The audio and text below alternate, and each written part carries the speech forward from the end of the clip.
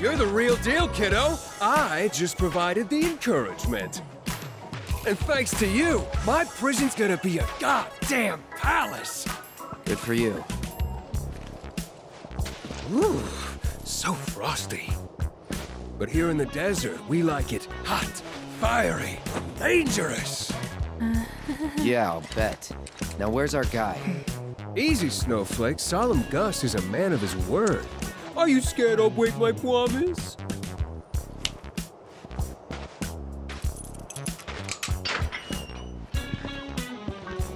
That tunnel over there will take you where you need to go. Past all that quicksand like a slippery little sidewinder.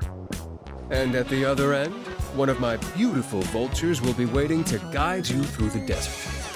So be a good tourist.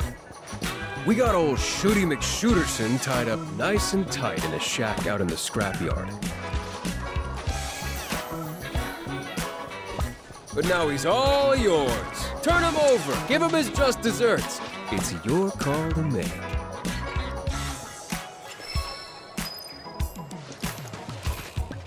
You guys moving on then?